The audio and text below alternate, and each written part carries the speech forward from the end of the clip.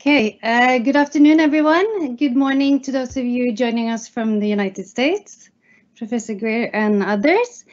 Uh, welcome to this seminar about, uh, about the EU crisis and in particular the EU's response to the COVID-19 uh, pandemic or corona crisis, um, which it is sometimes called. My name is uh, Marianne Riddervold. Uh, I am a research professor here at NUPI and a professor in political science at uh, Innlandet uh, University.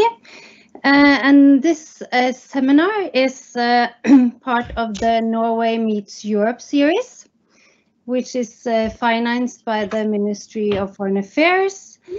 And it is also linked to, to NUPI's Center for European Studies or European Studies Center, which is coordinated by Pernille Rieker.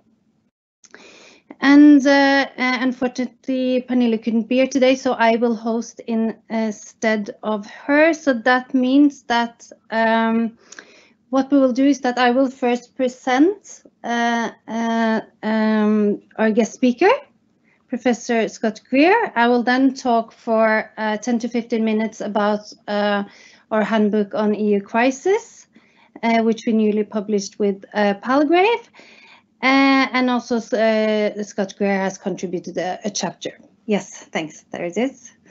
Um, and uh, then I will give the floor to Scott, who will talk for approximately 30 minutes, and then we will move on to discussions and Q&A. And the Q&A uh, uh, function is open uh, in the chat, so please start posing interesting questions to us.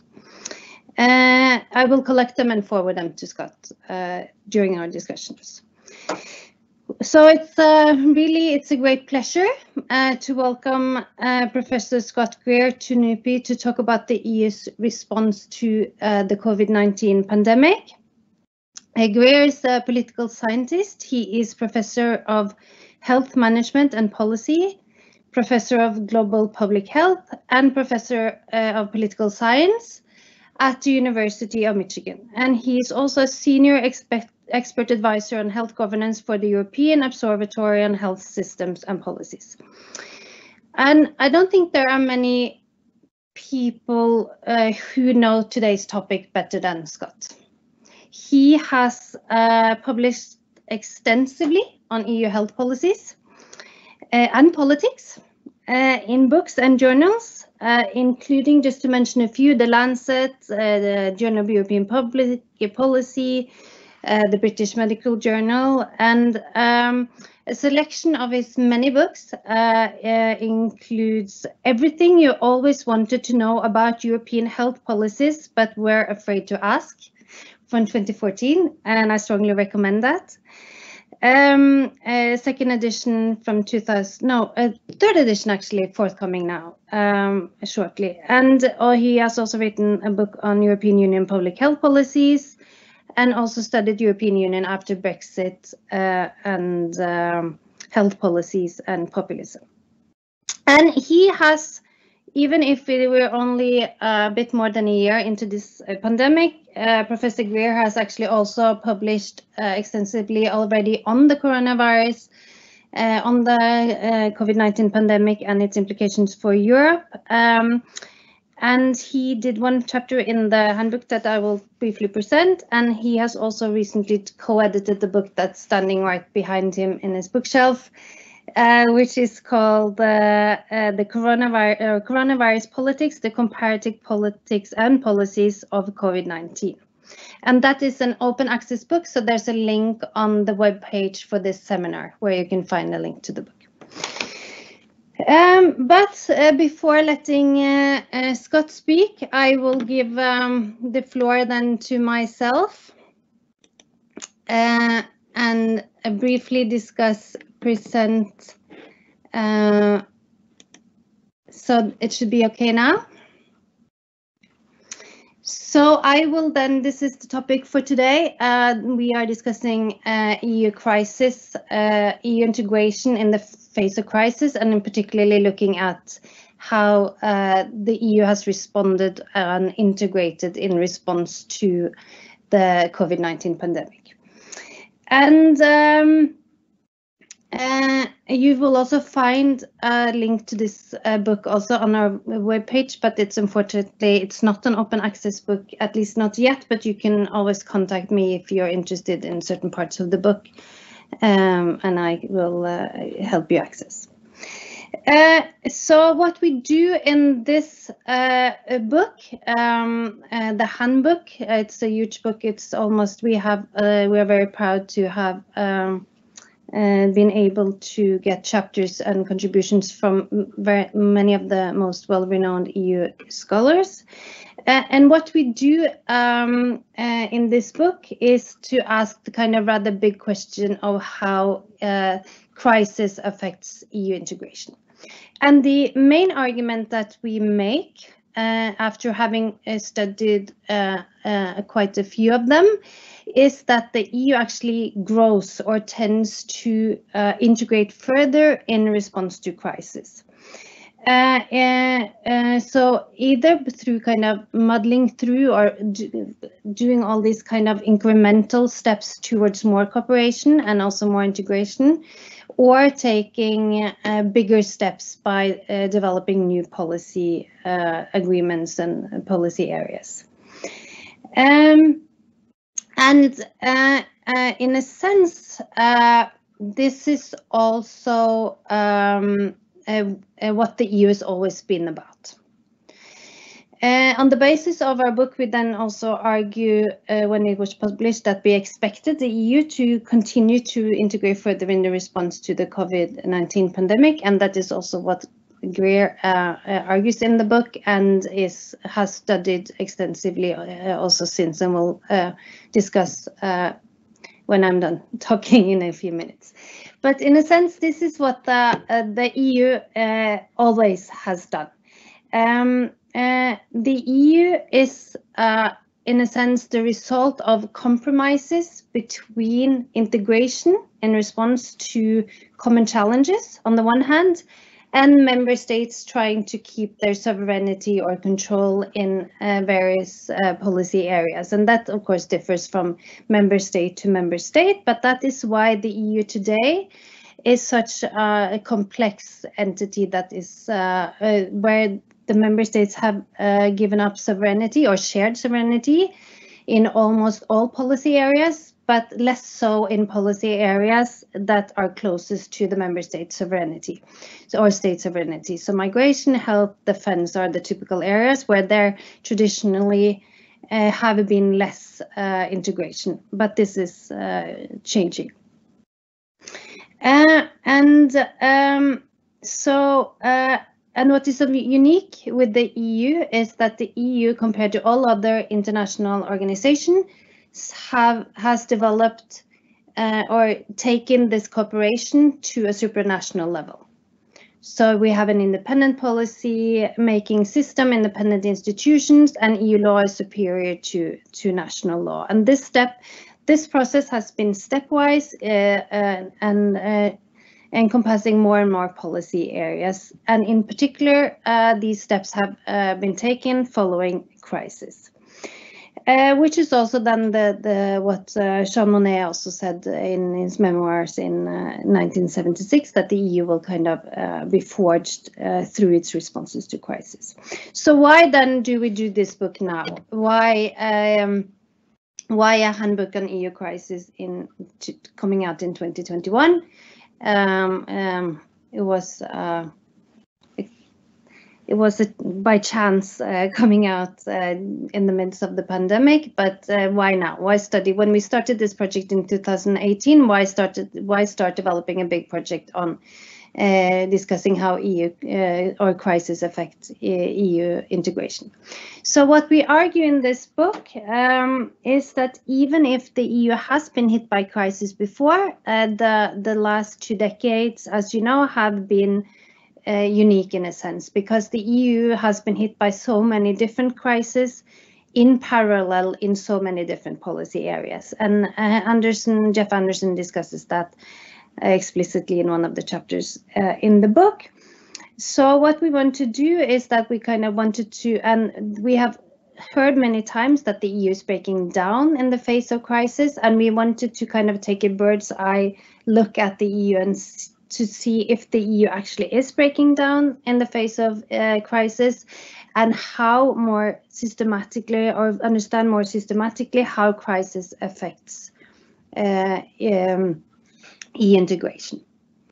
So what we then do in this book is that we kind of uh, do a much more systematic study of crisis uh, impact on um, e-integration. And we discuss all the main crises that the EU has been facing in recent years. So that uh, includes Brexit, Brexit, the democracy or legitimacy crisis, in particular in Hungary and uh, Poland, um, Russian aggression in uh, uh, in Ukraine and uh, and uh, beyond the migration crisis, the financial crisis, which is also, of course, the the new financial crisis with the pandemic, and also we were lucky to get Scott to to write about the pandemic. And we look at this across EU institutions, how uh, the EU institutions are able to deal with crisis, and we also look at the typical EU integration theory's ability to deal with crisis and understand the impact of crisis uh, on the EU. And we were also interested in seeing what these our findings, our comparative findings, tells about the EU more generally or broadly. So for in um, to be able to do this more uh, systematically, and I will not go through this in detail, but we what we do in the book is also that we develop kind of three different uh, scenarios or ideal typical scenarios of how the EU might respond to crisis. And drawing on different integration theories, and this will then happen through different mechanisms, and Scott will come back to, to one of them, is uh, that is first of all, the EU might of course break down in the face of crisis. This is a claim we have heard for decades actually, but uh, to a large extent also uh, during the the latest uh, year's crisis. And we saw that initially also with the COVID-19 crisis that the EU was uh, struggling to deal with it, and uh, and we had newspapers and others uh, observers discussing that the EU was not coping and it was going to break down in the face of this crisis, just as we heard with the financial crisis and other other crises, the migration crisis, other issues that the EU has been facing. Um, but uh, we also develop uh, two alternative uh, models of how the EU might respond. And one is that the EU will kind of muddle through through various mechanisms. It will kind of be able to uh, get through crisis through its typical or uh, institutional ways of doing things uh, through amongst others, uh, what um, Scott and others refer to as uh, failing forward um, is by uh, integrating further, but not perhaps sufficiently in order to deal with the common challenges. And the last um, step uh, or scenario uh, uh, or way that the EU might deal with crisis is to head forward, to take big integrative steps towards more integration in certain areas. Uh, and we find, uh, to sum up our findings very, very uh, briefly, we see that uh, on our, uh, overall, when we compare, we have uh, several chapters on all of the different main crises that the EU has been facing since the financial crisis. And what we see is that the EU is mainly muddling through or heading forward with more integration in the face of all of these crises. So even if the EU in some cases in the short term uh, is struggling to cope, in pure functional terms, the EU tends to move forward uh, incrementally or take big steps forward when facing crisis. That is when we take the longer uh, term perspective and look at the EU's responses. So uh, I, you will have to look read the book to see the details on the different crises. Uh, but um, the only uh, crisis where we conclude that the EU is, or at least at the uh, time of finishing the book was kind of uh, breaking down in the face of crisis was the legitimacy crisis in Eastern Europe because we argued that the EU has not been able to, or at least at the time, not been able to take big steps uh, in seeking to deal with this uh, through more integration. But we see now recently uh, that the EU is also taking bigger steps in this uh, uh, when it comes to dealing with legitimacy or democracy challenges in in some of the member states, amongst other things, through the rescue package that the EU member states have agreed to in dealing also with the financial aspects of COVID-19 pandemic. So what does then, uh, I will finish and uh, uh let uh, Scott uh, talk more about the COVID-19 pandemic and the EU response. But what we argue then more broadly is that this, our findings tell us, one, that crisis um, is a, key driver of e-integration.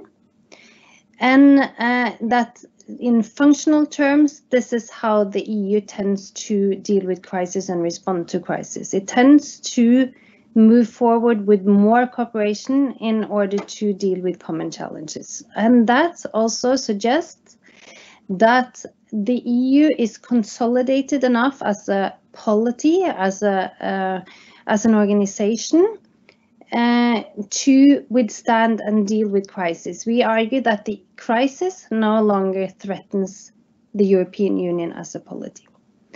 The challenge then, of course, is that the EU is, we as we I uh, said, is even if the EU is able to deal functionally with crisis by integrating further, coming up with new policies, common policies, uh, in in order to deal with common challenges, the challenge is to find a balance where the EU is dealing efficiently with crisis in terms of output, being able to produce policies uh, that can uh, can deal with the common challenges. And also, for example, we have seen with COVID-19 that uh, the population, EU populations uh, actually want uh, or expect the EU to take on more responsibility on the one hand, and do that in a legitimate and uh, democratic way uh, on the other hand. That is uh, finding this balance, um, we argue would be will be one of the main challenges uh, facing the EU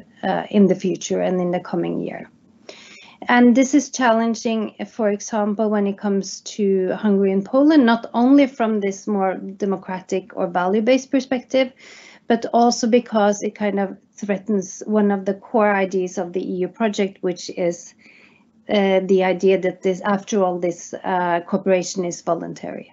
So uh, uh EU rules are binding, but member states also have to implement and follow them. And if it is up to the member states to decide what uh, which rules uh, they want to follow and which ones they do not want to follow, for example, when in as we have seen with some of the demo, uh, democracy challenges in Poland and Hungary, that will challenge the EU also functionally.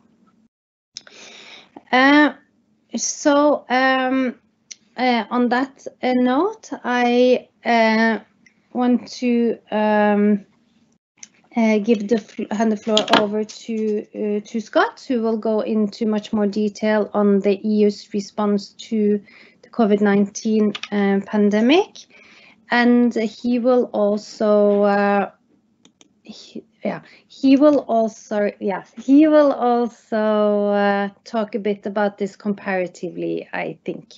And please remember to uh, post your question in in the in the chat and i will post them to scott later. Thank you.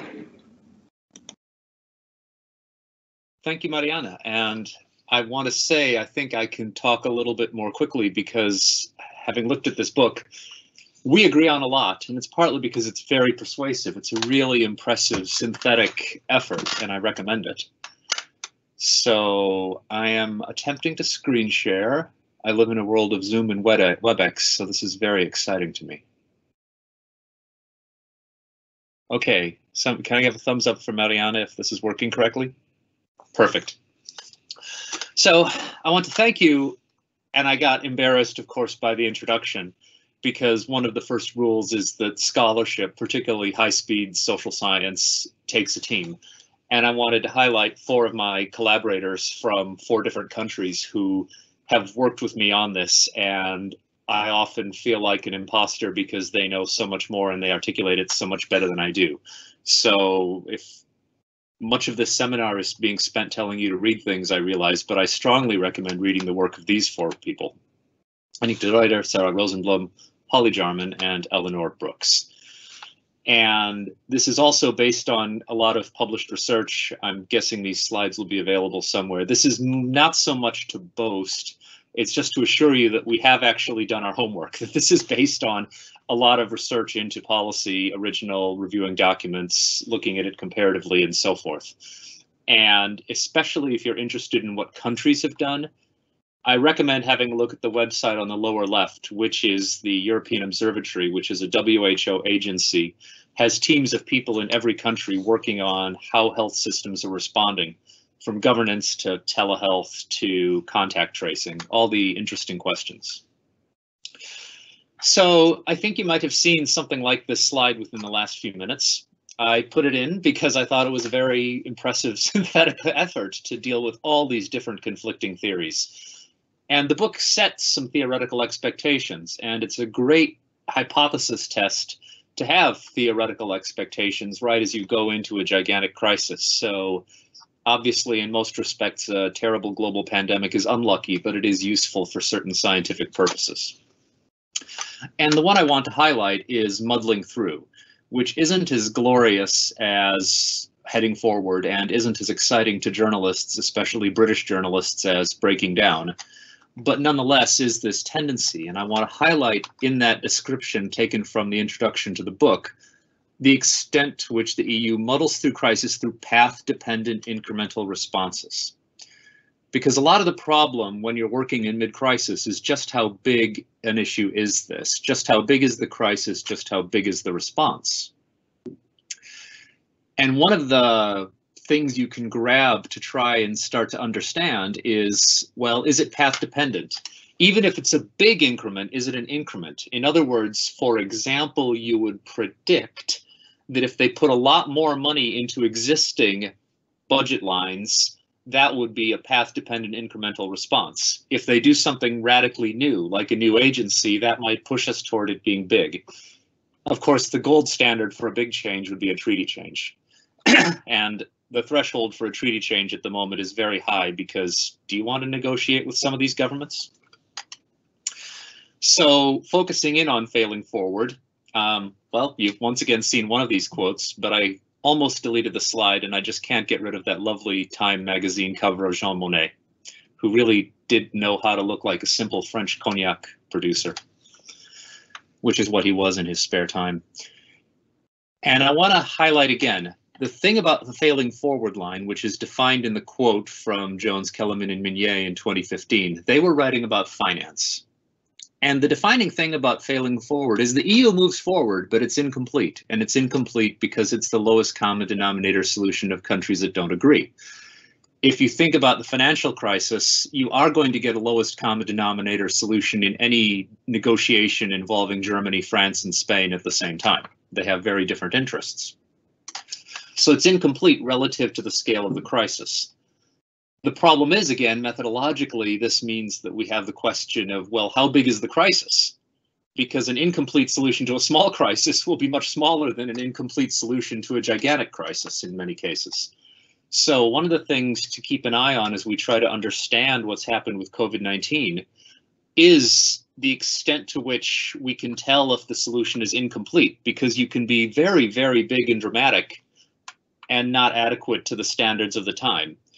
And if you want an example of very big, dramatic, and inadequate activity, I would point you to, for example, most of the public health policy in France and the United Kingdom over the last 14 months.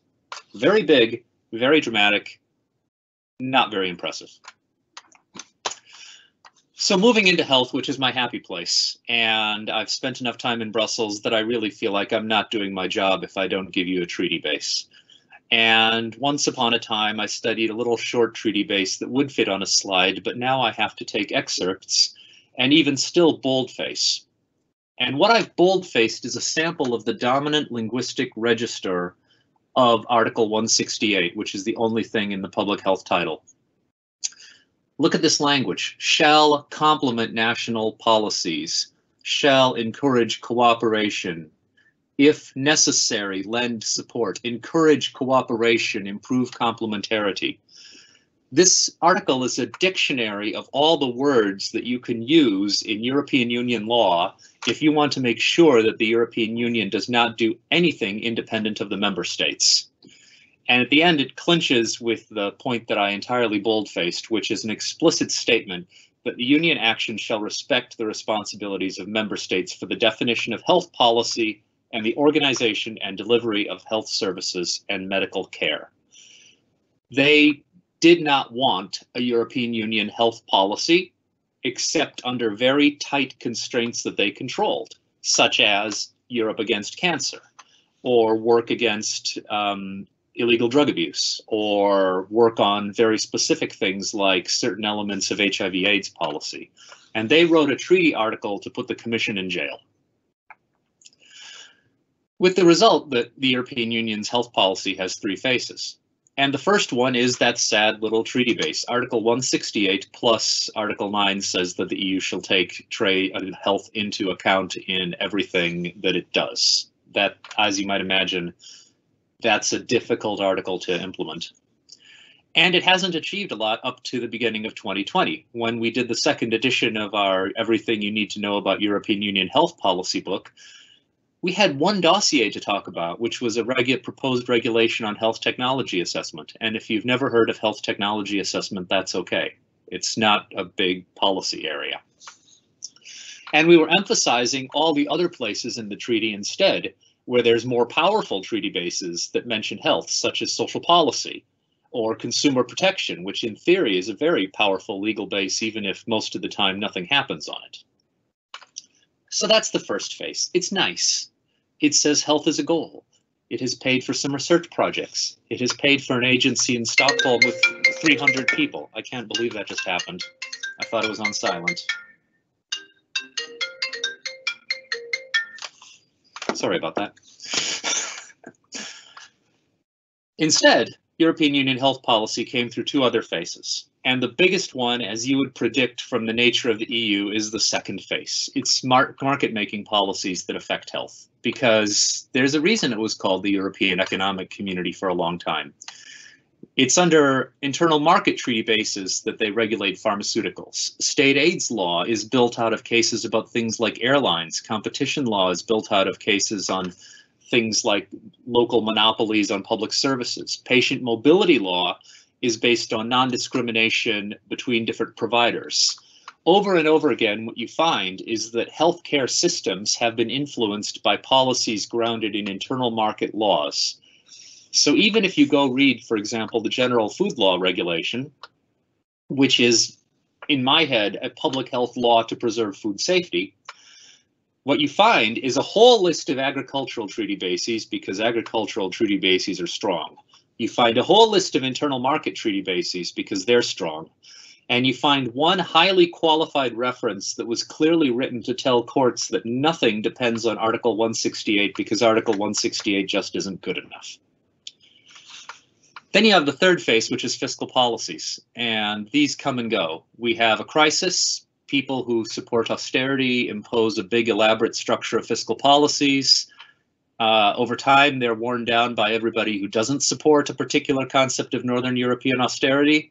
They collapse, then we have another crisis and they're reinvented. And the semester was the most recent arc of incredibly grand plans to have the EU evaluating French medical education for its contribution to Stability and Growth Pact and by the time it was abandoned in early 2020, it primarily contained recommendations to improve healthcare, such as telling Italians to reduce north-south disparities. In other words, it turns out a lot of people don't want austerity, even if you write it into a treaty. But it still makes big, grand claims, right? You saw what I said in Article 60, 168, that you're not supposed to have the European Union telling member states how to organize their healthcare systems Meanwhile, under a different element of EU fiscal governance, they're telling the French in detail that they shouldn't have a numerus clausus on medical education, right? This is to make the head hurt. That's enough text. At the observatory, we commissioned a cartoon in late 2019 to explain what was going on. There's the gate. It's a beautiful gate in a field. It's solid, it's well oiled, it's sturdy. It'll keep an animal in. And there's no fence. Article 168 is a beautifully built gate. You can make health policy, you can open the gate if you want to. It will open. It is well oiled, it is smooth. But meanwhile, all these different other policy areas are simply going around the gate because they never built a fence. And we just listed a few of them, agriculture, the semester, internal market, competition, international trade law. Civil protection largely grew out of international development aid for the EU. So that's our 2019 cartoon. We had to commission a new cartoon in mid 2020 because the scale of the expenditures and the scale of the responsibilities being given to Article 168 First Face European Health Policy just blew us away. And I said it was a sturdy gate, but there's no way you can restrain the European Council in a full panic, which is what happened. So let's talk about it. Go back about a year, and you had a terrible spectacle in Europe. It did look like the falling apart scenario. You had enormous national egotism. Within countries, you had enormous regional egotism. Nobody was sharing any prote personal protective equipment, PPE, with Italy, but frankly, within Italy, nobody was sharing any PPE with Veneto and Lombardy. If you were in Sicily and you had a stockpile, you held onto it because you expected that the wave was coming for you. And if you were in Austria and you had a stockpile, you held onto it because you thought the wave was coming for you. So even on the most basic level, there's a thing called rescEU, which is a civil protection stockpile. And its basic concept is that if Sweden has wildfires and Spain doesn't, then Spain can loan firefighting equipment to Sweden.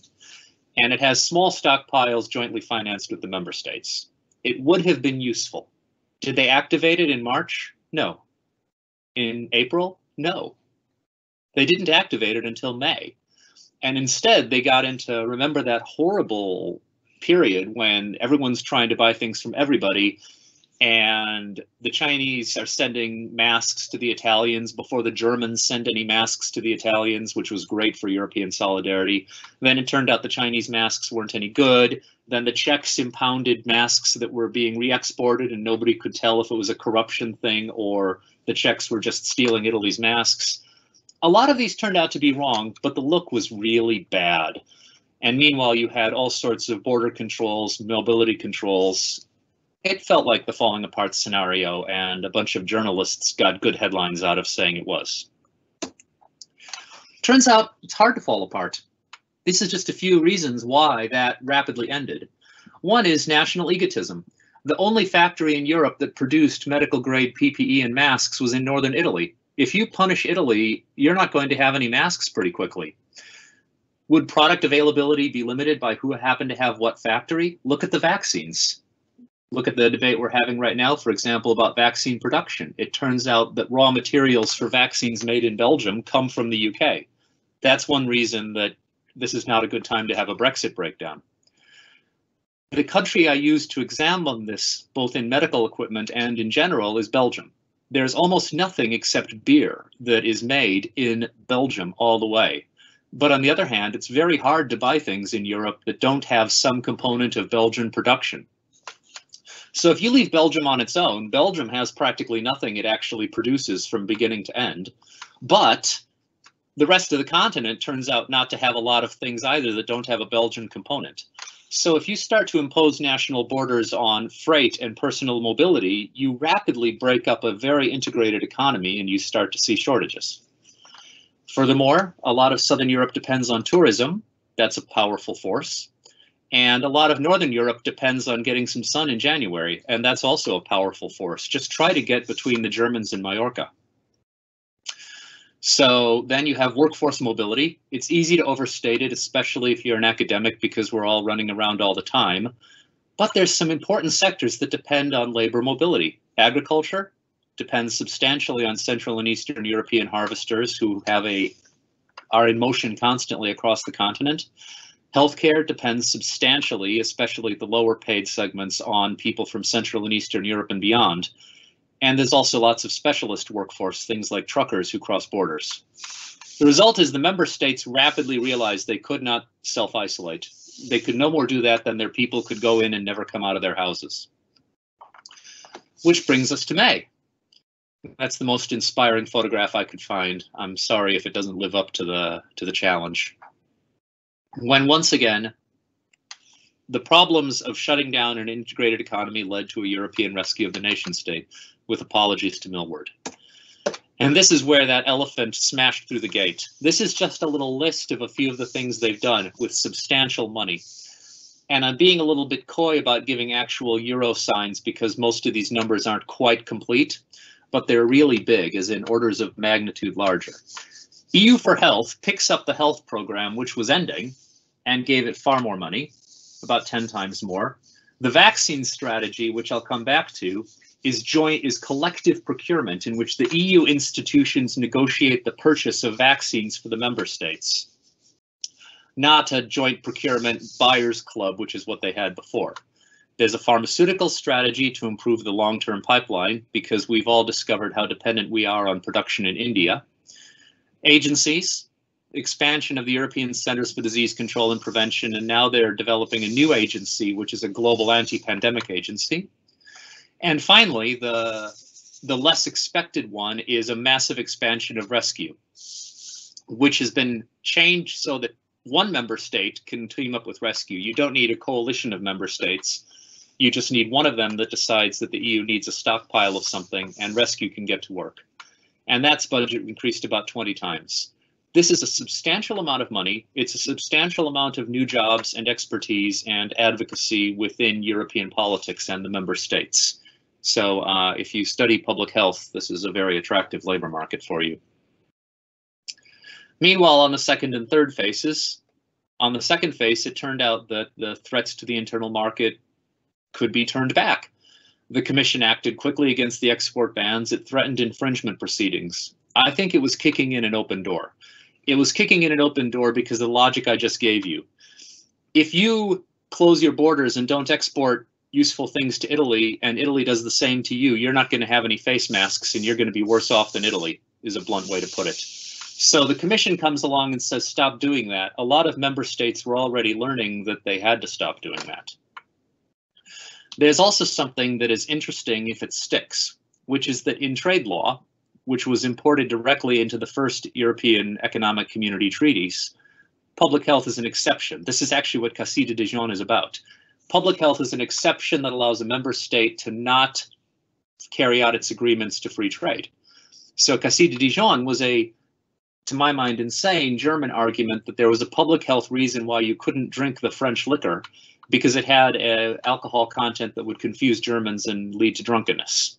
In other words, the Germans said there's a public health argument for restricting Cassis de Dijon. And the courts don't look on this favorably. That's really not how the European legal system thinks.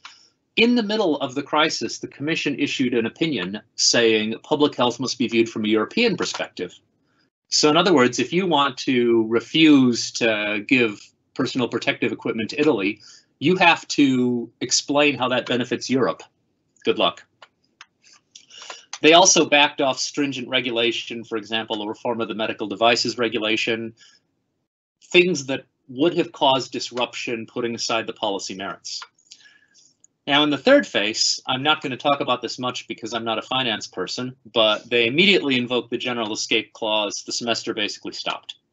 They replaced it with what we debate is the Hamiltonian moment because the EU compared to federation stands out very strongly precisely for the absence of real money, right? So the EU is 1% of the GDP of the European Union as a whole. Well, your average health system in the EU is between 6 and 12%. So the whole EU budget is one sixth of the GDP of the cheapest health system in Europe. Yes, it's a lot compared to the economy of Hungary, but no, it's not a lot compared to what it takes to run healthcare. So this anomaly that the EU was this enormous legal system with basically no money and no internal redistribution is partially addressed by the breakthrough of EU issued debt, issued debt to support the member states without conditionality. And that's tied to the Recovery and Resilience Fund process, which replaces the semester effectively. And that's a lot of money. And even if the money doesn't impress you, or the fact that it's time limited doesn't impress you, notice that this crosses a Rubicon. This is the European Union issuing debt to finance member states in trouble with no conditionality, no troika, no semester telling the French that they don't understand medical school admissions. It's money. And that's what every other federation that survives does. So watch that space. This is all very pro-European, I guess, or at least impressed with what's happened. So let's go to vaccines, which is less popular. It's useful to distinguish between vaccines and vaccination. Vaccines means acquiring the little bottles in cold storage. Vaccination means getting them into arms. And these are two different problems. And we're switching from having a vaccines problem in rich countries to having a vaccination problem. So the vaccine strategy was a big bet on solidarity. Originally, a small number of self-confident rich countries with pharmaceutical industries, the basically the Germans, the Dutch, uh, French, and the Italians were going to go purchase together. They realized two things. One is that purchasing for 446 million people gets you much better attention from pharmaceutical companies than purchasing for a couple of medium-sized countries. Secondly, they realized that the solidarity characteristics of this could be fatal. If the Germans, the Italians, the Dutch, and the French were all vaccinated, and the Belgians, the Portuguese, and the Polish were not, it would be terrible politics. And remember what I said about mobility within Europe. You're not going to achieve herd immunity if all your agricultural laborers from Poland are unvaccinated because you were too selfish. So they bet on solidarity. Member states could always buy outside the system, and some of them are doing so now. They can also buy from each other. Okay, so there's no there's no prison. Germany is not forbidden to buy vaccines from somebody else. Germany chose not to. Now, at this point, they gave negotiation to the European Commission. This probably, in retrospect, was a mistake. They should have just bought a commercial law firm services because the contracts were not especially well drafted, as AstraZeneca keeps telling us. And they got their priorities a bit wrong. They focused on price and liability.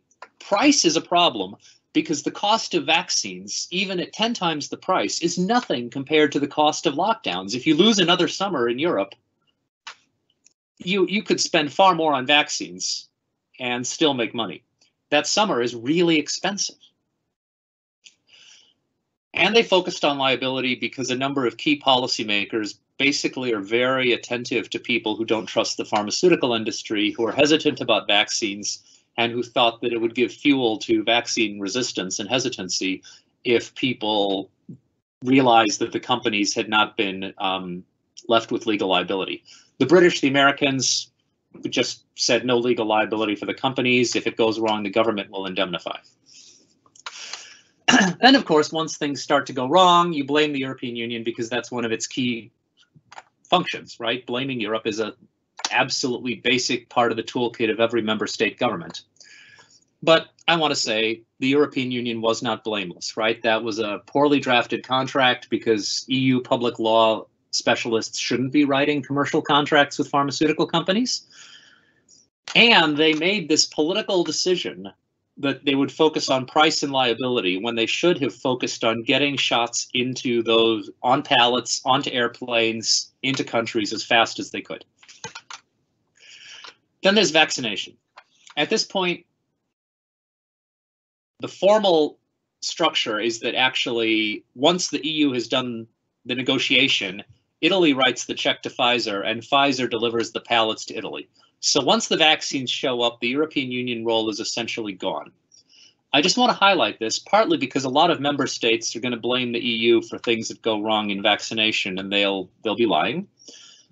But there's huge problems and huge diversity, right? So there's serious risks in Central and Eastern Europe. They have the highest vaccine hesitancy in the world.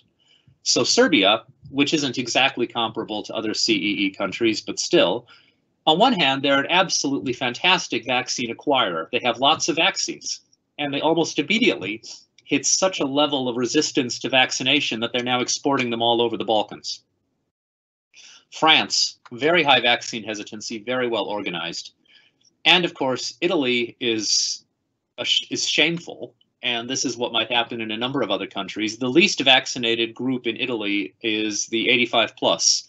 And meanwhile, the number of putative healthcare workers in some of southern Italy's regions has exploded, meaning that organized crime has started to divert the vaccines into their people instead of, for example, the vulnerable elderly. So on vaccines, the European Union deserves some blame, but it's getting more of it than it should. On vaccination, the European Union will get blame, but the coming public health problem is going to be very national and very diverse. Before I end, I want to tell you what I'm not going to do. I'm not going to evaluate the European Union as a public health power. That's really hard. It's hard to evaluate any country's policies. So unless you're talking about Australia, New Zealand, Vietnam, the ones that have effectively suppressed and almost eliminated COVID, it's hard to say, for example, that excess mortality is attributable to policy. Italy is an old country. This virus really goes after people above 65. Europe is more or less condemned to have worse mortality among infected people because Europe has many more older people. It's very hard to find the mortality from COVID 19 in some African countries when the average age is below 16 and we don't really understand everything. I love public policy. I love to attribute things to policy. But when you look at age structure, economic structure, household structure, India is getting hit hard because they have multi-generational families in small houses. Even distribution of cell level immunity things that are completely outside political science. These all vary and they all have an explanatory power.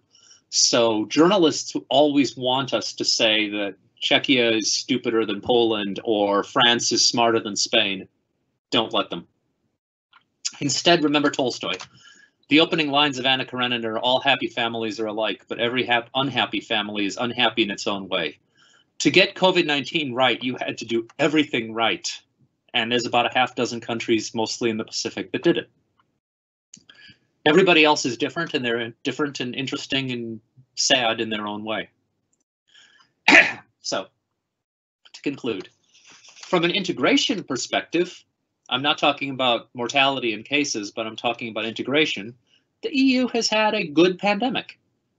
Its expansion of the European Union role at the behest of the member states, and it's defined by expansion of the first face relative to other faces, meaning there's a large new European Union health policy, both relative to other European Union policies that affect health and frequently don't do it for the better, and defined by relationship to the actual health enterprise on the continent. That said, everybody right now is mad about vaccines and blaming the European Commission. Well, the risk is not that they're going to go backwards. The risk is that this gets remembered by member states and the public as the European Union was given an important task and failed. So the risk is to public trust because EU4Health, the health program, will need to have its funding renewed. The new agencies will have to have their funding renewed, their budgets decided. They're going to have to decide if the pharmaceutical strategy, which would be kind of a permanent vaccine strategy, will actually continue, et cetera, et cetera. And if they conclude that this was all kind of a big mistake, then we can go back to where we were, which is a very small health program doing a few things about, you know, whether or not drinking tea is good for heart health. I also, this is another point where we agree, it is no accident that it is during a pandemic that democratic backsliding has become so obvious that we can't really say Hungary is a democracy in any sense. So the excuse of the pandemic, in most countries you don't see big political change due to the pandemic, but using the pandemic as an excuse, we've seen really alarming authoritarianism and rejection of the rule of law. So I'm with Dan Kelemen that that's the existential threat to the EU. And in terms of coding it, finally, I said, began with the methods point. We're right on the edge between muddling through and heading forward, and I think it's because they've used existing path-dependent policy structures. They know how to run a health program. They just renamed it EU4Health and put far more money into it. If that sticks, if we continue to have a large EU health budget through those mechanisms, then maybe we're not just muddling through, we're heading forward. And I would be very surprised if there were a treaty change, but there's more interest and excitement surrounding it than I would have imagined after the experiences of treaty change proposals of history. So thank you very much. I'd love to take questions. Um, and if you want a free copy of the Coronavirus Politics ebook, the, that's the shortened link at the bottom of the slide. And I will then, as a member of Zoomland, try to figure out how to stop screen sharing. Okay, thank you very much for a very interesting and fascinating talk. Uh, we have opened up for uh, uh, questions and please just keep uh, posing questions in the chat. Uh, we have some uh, questions who have come in already. So um, some of them are linked to kind of the more long-term consequences of this, which is of course always difficult to predict. Um, but uh, um, you said that you don't expect treaty change but at the same time you say that you see kind of the EU has already had a good crisis and the EU is muddling through and it's heading forward. So even if you have to kind of uh, predict a bit, where do you where do you see the EU going? What is your kind of main expectations? Do you see that the, the EU having a much bigger health policy in a few years based on what you know now?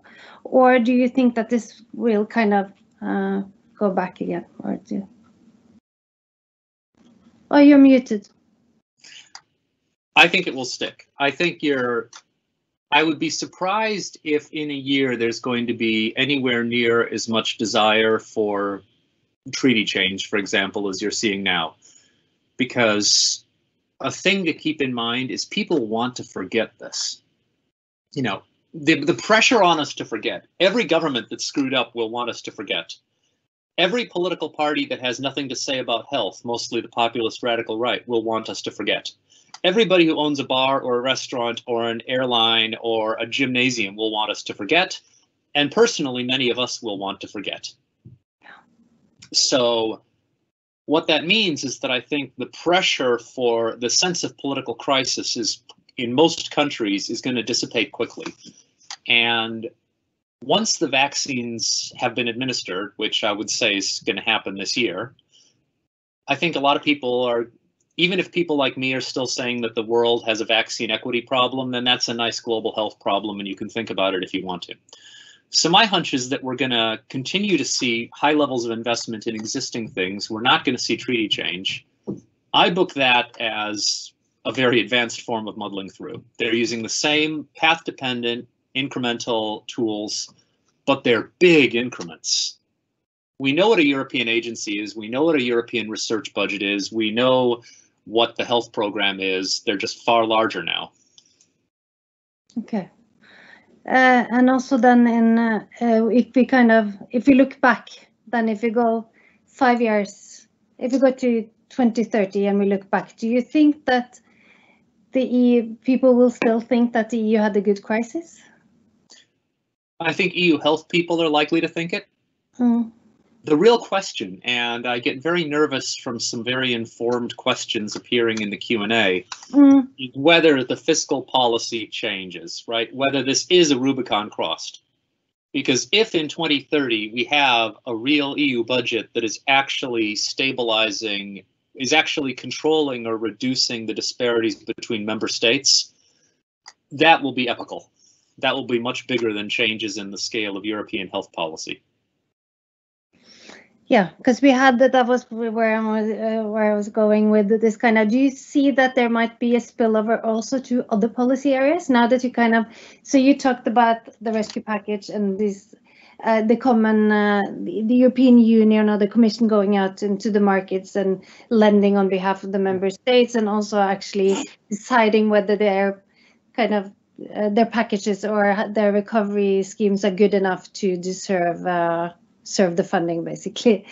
Um, so that is what you have referred to as an Hamiltonian moment amongst other things in your yeah but or some Maybe. people have referred to that it might be at least because it refers to this kind of big federalist step that was taking when when uh, Hamilton, uh, if I understand it correctly, kind of gathered the the the depth of all the states in the United States, and it became kind of federal uh, debt.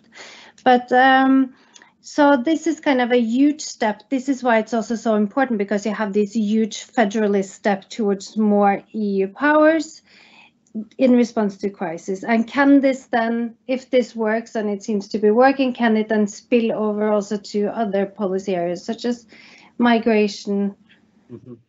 such as health? I think I think this so I'm a neo-functionalist at heart, right? I'm mm-hmm. onto the failing forward model, but if you study health in Europe, it's hard not to be a neo-functionalist because all the all the hard-nosed bargaining between member states happens in the context of them realizing that they're stuck together. So if you go back to, for example, the foundational crisis of European food safety, which was mad cow disease, vCJD, and what happened there was simply that you integrated the market without integrating the, in this case, veterinary and food health consequences and got a disaster. And Horsegate, if you remember that one, where it turned out that six countries were involved in the scandal of Romanian horses showing up in Irish lasagna, proved again and caused more response that the regulation had not caught up. This is an equivalent there for a long time european communicable disease control and there's essentially nobody who studied it until 2020 was based on cross-border small-scale things. So i remember one day discussing it in luxembourg with the commission and the only news item they had that day was a measles outbreak at a youth hockey tournament in vienna. That's what the system was set up for. So this is completely different right? This is going from children playing with sticks to you know total warfare and I think that is what's going to stick is that member states are going to realize that they need to have better capacity to manage shared problems as well as to assist member states in controlling problems before they become shared. So that's why I'm optimistic, but I think the spillover is from an integrated economy to more integrated health services. Because between the fact that you strangle the Southern European economies and make sun deprived Northern Europeans angry, that you shut down essentially every supermarket in Europe if you don't let trucks cross borders, and that nobody can supply their healthcare system from their own resources. You put those three things together, it says you have to manage health emergencies together. And I know it sounds like a joke, but the epidemiological consequences of Germans wanting to go to Mallorca is absolutely important. Yes, because I guess you've also been following these uh, the negotiation now on the vaccine passport, which many I know many we are discussing in Norway, and many are uh, interested to hear more about. So, uh, the last thing I heard was that it's coming. Of course, the Commission has proposed it, and that means that it's been discussed already with most member states, and it's also been discussed with the European Parliament before it goes through the legislative procedure. And then the discussion is um, is on how you kind of make it, how you find the balance between justice and this very strong drive towards securing the free movement within the inner market and also, of course, the uh, European uh, vacation so mm -hmm. that people can travel. And uh, the last thing I heard was that it's likely that it will actually be functional in Europe in late June or July. So, uh, what is your uh, insights on on the vaccine passport discussions? Have you been following that? In a sense, it's obvious. Like you can almost play out the obvious thing that's going to happen because there's demand for holidays, obviously, but there's demand for tourists because there is no plan to restructure the entire economy of from from Portugal to Cyprus. They they need tourism. Um, there's a there's a ton of reasons why there's no ability to make a short-term transition, and why, frankly, nobody's ever going to locate high-end manufacturing in the Algarve. So that's the lot of the political pressure. And I think what it also has advantages, for example, from the perspective of the countries with a lot of vaccine hesitancy, it is one way to get people to get their vaccinations because if you have to drive to your holiday or because they won't let you on the plane or they won't let you in at the border because you're not vaccinated, that's incentive to get one dose of Johnson & Johnson. So I think it's going to happen. The problem I would anticipate is that the actual administration, beyond what is necessary for air travel, is going to be member states. And then you're going to get every member state peculiarity. Like, I cannot imagine how long the Germans will take to figure out the privacy law dimensions. And you have other things. For example, a number of countries, the vaccine records are basically a piece of paper that anybody can forge. Hmm. So what do you do with somebody who has this thing that they could have printed out at home claiming to be vaccinated? Hmm. So there's a lot of technical problems coming, and I think they're going to achieve, they're going to fail forward. They're going to achieve a European solution that works for the air travel industry, and we can all pretend it works well enough to reopen Spain and France and Italy. Mm. And on the member state level, you're going to have a gallery of strange things. Yeah, and they're also now proposing a new law on artificial intelligence and biometrics, which of course will have to be also taken into consideration. But are there also discussions on on these vaccine passports and travel requirements between the European Union and the United States? This is one where I think the pattern is actually being set by the UK. Um, because the UK essentially said we're going to ignore infection numbers, we're going to ignore case counts, we're going to look at the percent of your population that is vaccinated. This is a very British mind, by the way, because it completely ignores the fact that there's mobility within the European Union, right? So if one country is 70% vaccinated and one country is 50% vaccinated, the British think you can distinguish them. Which, of course, doesn't work if one country, if, if there's mobility between them, right? If there's mobility between Germany and Czechia. So what's likely, I think, is that a bunch of big countries are going to settle on percent vaccinated as the key variable. And that's not epidemiologically stupid, but it's going to mean that that's a nice crude way to get air travel reopened this summer, which is what a lot of people want. Okay, so we're getting some more uh, questions from the audience uh, now. Uh, uh just to follow up first, since we were talking about the UK and the US. Uh, in the media, the US and UK are often considered more successful uh, than the EU since their vaccination has progressed further. But this is partly because they have kept almost all the produced doses for themselves. And the EU, as we know, on the other hand, is a very more, much more uh, free trade oriented and actually exports more. It's probably harder for the EU to to say that we are protecting exports uh, than for many other countries. Um, uh, so, in terms of solidarity and long run, uh, long term vaccination, perhaps the EU was more successful anyway. Also, coming back to how will we look at the EU in kind of five to 10 years? I think they'll certainly say that. Um, I kind of want, okay, so on solidarity, absolutely. Um, I'm pretty sure Germany could have procured vaccines for itself. It wouldn't have worked as a public health strategy, but they would have been able to do it. I think that as ever, solidarity works best when there's an element of self-interest. So is Germany showing solidarity with Poland or is Germany showing a rational understanding that if Poland is got a raging pandemic, Germany is going to be affected? And I like, as a political scientist, I like it when there's a, a selfish reason to be solidaristic. That that that looks sustainable to me. The problem with global sharing. Partly the EU is committed to that. Normative Power Europe does have some impact. Partly the EU is trapped because it has particularly strongly internationalized supply chains, right? So you can't have a fight with the UK because necessary materials for vaccines made in Europe pass through British companies. That said, I still think we need to say, you know, admit European policymakers made some mistakes and I kind of said them. One is focusing on liability and price. And it's easy to see why they did that, but that was really stupid because the economic damage of a few weeks of lockdown is far larger than a badly priced vaccine.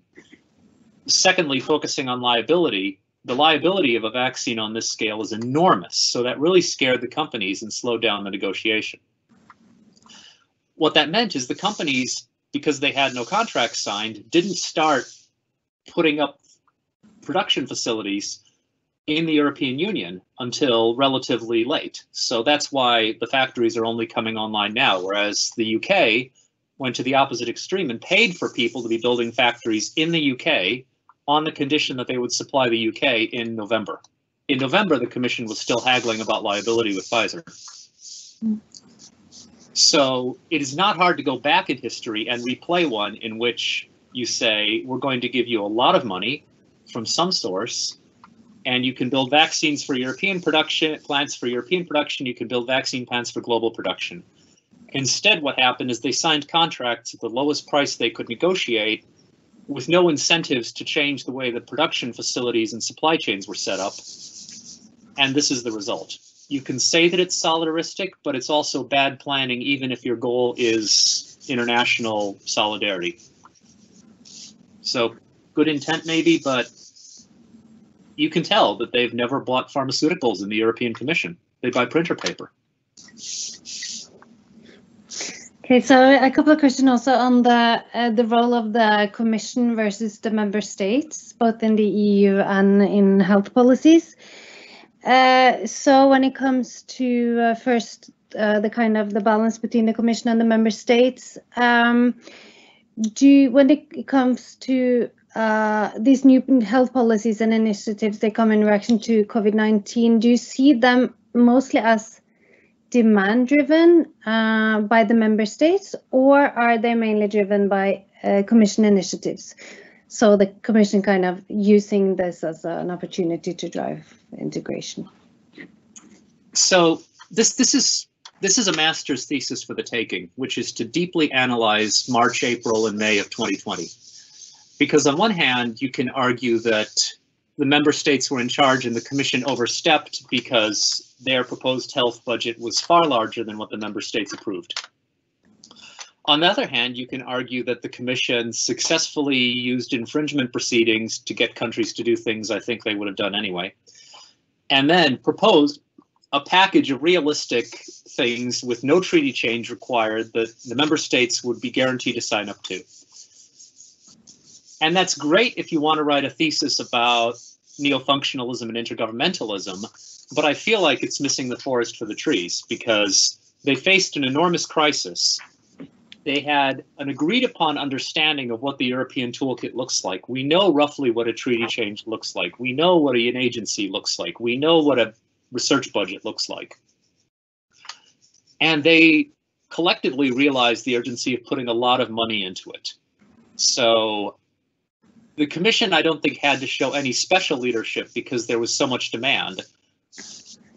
But they did supply sort of the thing that was not that hard to think of, and they broadly got support. Okay, and also uh, regarding the role of uh, the member states or national governments as such, maybe in dealing with pandemics. Um, and this is uh, also a question I asked uh, have asked my students and heard other like who are the who are who is better at dealing with a crisis like a pandemic? Is it like is it naturally better to do this together in the European um, uh, Union or are actually member states or national governments better able at dealing with with crisis like this with the pandemic? Because if you look at for example, in Norway, where we have a low death toll, we have not that many sick people. And so in that sense, uh, you could argue that actually smaller units or regions or states are better able at dealing with a pandemic than a bigger unit or polity like the, the EU. So coming back then to, to your argument about the EU actually doing quite a good job. Um, I think the European Union is doing quite a good job judge, judging by European integration. So if, if more European Union is your definition of success, then it's doing a very good job. Hmm. I think there's there's a lot that goes into it, right? This is why I sort of had the Tolstoy quote that you had to get a lot of things right. You had to be careful on your borders 15 months ago, you know, in February 2020 at the latest. You have to have a strong public health system. You have to have good data. You have to have decisive politicians. So, for example, could the United Kingdom have done better? I can give you a fairly well established list of things Boris Johnson screwed up because he's Boris Johnson. But equally, many of the world's busiest international travel routes are in and out of Heathrow Airport. It's hard to imagine a disconnected United Kingdom. The whole country is built on a high level of mobility. So I'm going to take a pass on who did better because, as Tolstoy said, all happy families are alike. But there's not that many of them because you need to do so many things right. You need to have the travel bans very early. You have to have test, trace, isolate capacity you have to have strong social policy measures to support people when you close down parts of the economy or individuals need to be supported in, in isolation. In terms of what unit of government is best, I can't speak to the Norwegian situation except to envy you, but um, the problem tends to be that bigger states are ultimately crucial, right? So what both the United States and the European Union have discovered is that 10 million people isn't that big for certain purposes. It's not big enough to manage the crisis within a larger economy specifically, right? Sweden, well, no, Sweden's mismanagement is a different problem, right? Austria is not big enough to make policies that will save Austria just like Michigan, same population is not big enough to make policies will save Michigan. We were in hell because Donald Trump was running the federal government. Austria could do all sorts of things, but without strong European policies on vaccines and border controls, they were going to suffer whatever happened in northern Italy. Hmm.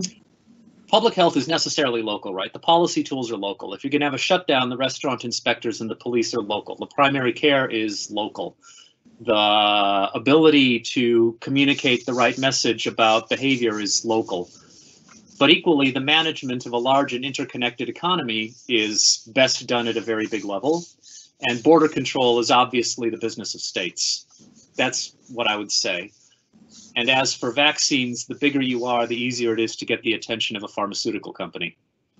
There's no chance Malta would have any chance of buying anything under normal rules of pharmaceutical industry behavior. They just wouldn't take the call.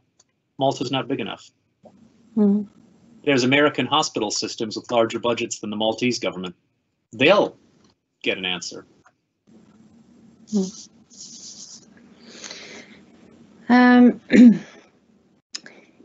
so uh, coming back or continuing this kind of uh, theme of uh, the EU's ability to deal with this crisis, um, uh, it has not led the EU to break down as we uh, we have been arguing and the EU has even moved forward with more integration and done quite a lot in this uh, field already, especially with in the economic field with the rescue package, etc. Uh, but it seems it failed with a successful vaccine strategy, or at least that's how it looks at the moment. It might change, of course. And is there something, if we want to learn something more broadly about the EU from this, is there something kind of about the way that the EU functions that can explain this, that it's more difficult for the EU to respond effectively, rapidly to these kinds of crises when you actually need to act uh, rapidly. So is there something that so that if we are faced with this type of crisis another time, will the EU also then kind of struggle to to react quickly because it's something about the way that this animal works in a sense? I think, and this is partly based on you know 34 countries. Mm -hmm. What's amazing is how how true to themselves countries stay. And you even see it within the pandemic that, as far as I can tell, nobody in France or Britain has learned anything. They keep on doing exactly the same things at three month intervals. So the striking thing is how the political systems responded with really what they had in themselves. And you can even argue that the Swedish response was quite predictable from people who know Sweden better than I do would say, well, of course they would do something like that. Of course the French would do what they did. So I think in a sense, this was a great opportunity to observe a lot of political systems, including EU. And what we found is that they behaved like you would expect. The Czechs turned out to have a highly personalized, idiosyncratic way of behaving. So a businessman with an Excel spreadsheet projecting horrible things got to the prime minister, persuaded him, and they had the toughest lockdown in Europe. Then a dentist with a spreadsheet saying they should reopen got to the prime minister. They opened everything, and then they were rewarded with the worst surge in Europe. Nobody who studies Czechia is surprised. Nobody who studies Spain is surprised that they've had an enormous amount of bickering between nationalist parties in the central state, or that it's incredibly partisan, or that they just are not equipped to evaluate what are otherwise very professional public health bureaucracies. I could go on. You know, nobody should be surprised that the first instinct of Dutch policymakers was herd immunity. Nobody should be surprised that Germany turns out to have been held together by the CDU in large part, despite all the formal behaviors designed otherwise. Nobody should have been surprised that Denmark actually had a really good pandemic. Uh, and again, nobody should be surprised that the EU came together in a way that's going to look good from a couple of years out, but also came together in a way that was angering and dispiriting and slow and had misplaced priorities. Because that's exactly what you'd expect from what is fundamentally a European executive that works in the service of 27 very different countries. So not only do you have to do something 27 very different countries want, you also need to do it with a bureaucracy that has evolved to service that kind of political unit. And that is, for example, how you get a focus on price, which is completely myopic in the context of the economic damage of the pandemic, but which is also completely explicable in terms of what the European Commission has been trained to do by 27 member states that don't want to be blamed for scandals.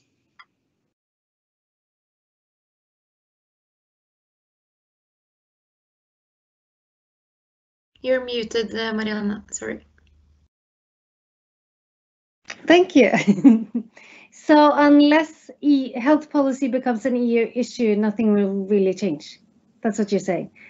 So there has to be kind of some big steps taken at the EU level for this to change the next time.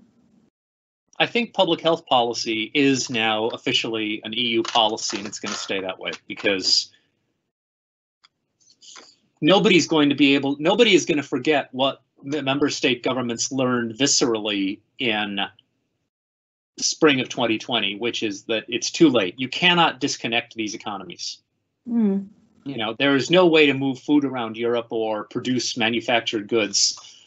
And therefore, just like it's now accepted that the European Union has strong food law regulation, I think there's going to be an acceptance that it's going to have strong communicable disease it's less likely that the EU is going to have a health care policy, doctors and nurses and hospitals, simply because that puts the focus on the thing that you must never discuss in European politics, which is the economic disparities between member states.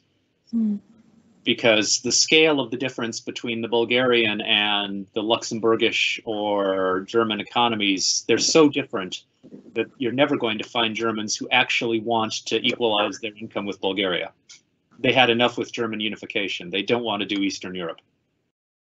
So you're not going to see a healthcare policy, but I think we have a public health policy because a shared public health policy solves neo-functionalism here, solves the problems that you get once you're completely economically integrated. Thank you. Uh, another question. Uh, what do the participants think about EU instruments such as the temporary support to mitigate unemployment risks in an emergency? Sure. And the recovery and resilience facility, which have been introduced as temporary instruments. Do you think they could lead to the introduction of more permanent instruments? That's the question about the Hamiltonian moment, right? So for those of you who are not political economy nerds, because I can say from experience that even if you like American history, the phrase Hamiltonian moment was new to me a year ago. And it's when the federal government assumed the debt of the states for the war. It was a temporary measure, right? We had a particular event, the Revolutionary War. It led to a particular debt load that was temporarily assumed. What mattered was the precedent. What mattered was the learning. The precedent that the federal government could take on debt, essentially finance the states, and the learning that this actually had benefits, that you got a better functioning federation when you pooled some of your risks at the biggest level. This is basic economics of fiscal federalism. You want to pool risks at the biggest level possible. That's why reinsurance companies are enormous. So the Hamiltonian moment was personalized because a lot of people have seen the musical.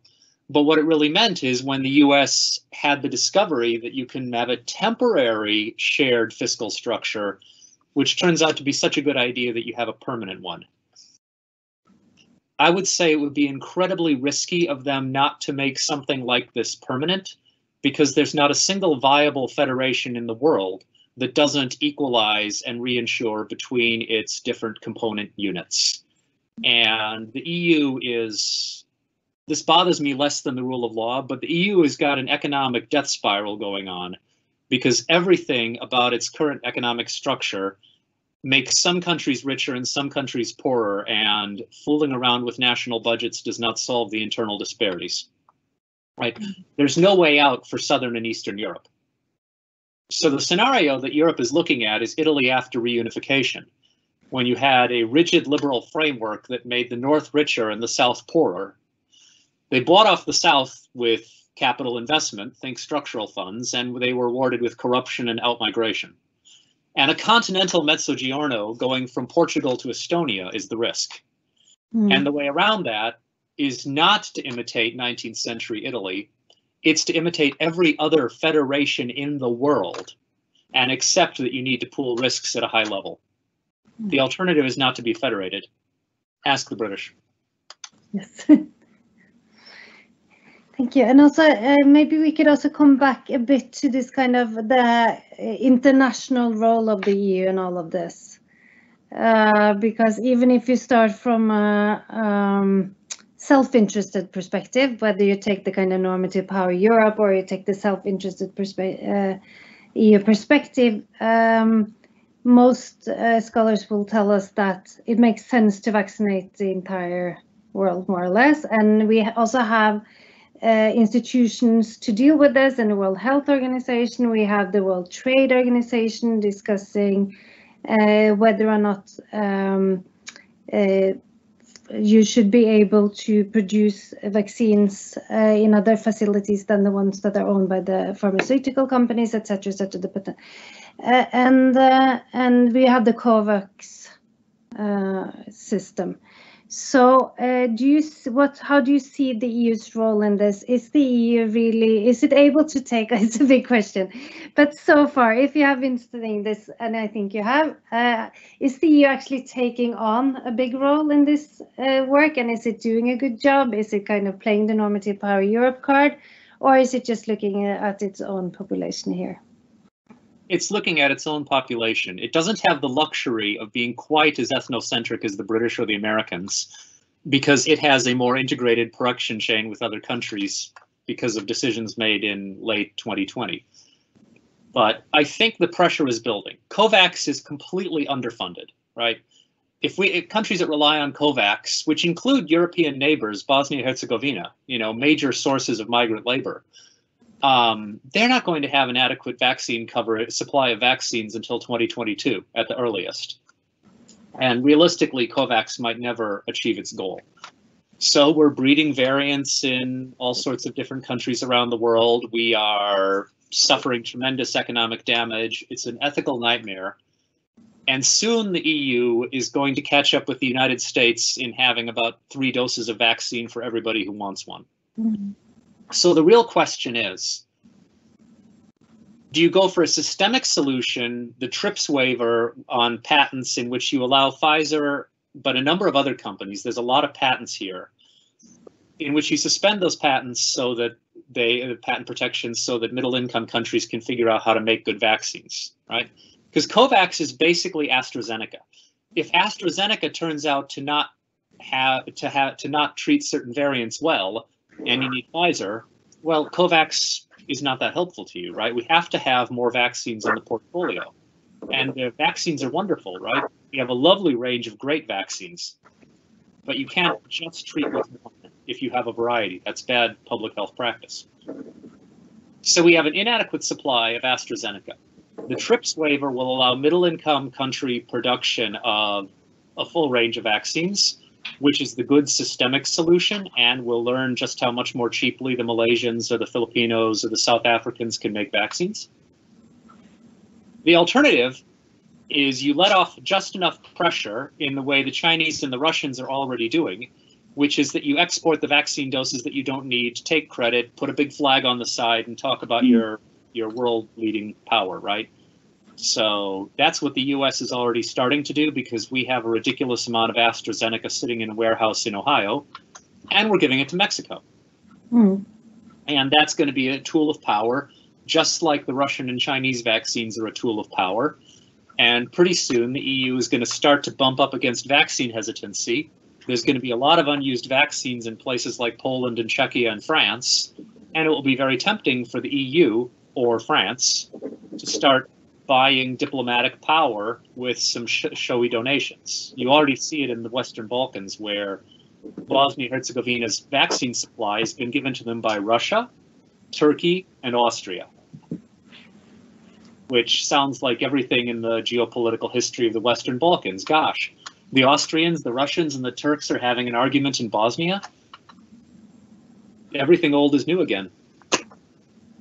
Yeah, that's. Uh, I guess you have. You mentioned that. I guess you would could say that there are kind of three approaches. It's the uh, vaccine diplomacy, the soft power kind of way of using vaccines to get influence, which we might be seeing China and Russia do to a large extent, I guess. Then you have the humanitarian approach, sharing on a humanitarian basis, and then uh, the multilateral cooperation approach.